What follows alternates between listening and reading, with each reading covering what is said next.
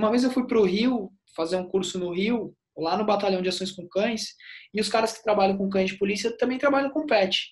E os caras têm uma, têm uma doutrina lá que é o cachorro, o, o cachorro cansado não te dá trabalho. Então eu acredito muito que um, uma das chaves mestre do, da abertura do portal mágico dos cachorros é o gasto de energia, cara. Então, sem dúvida, se você conseguir fazer esse gasto de energia, e aí é, não necessariamente você precisa ir para a rua. Talvez, cara, puta, pegou um dia de chuva, sobe dessa escada, não sei se você mora em prédio, não sei, né?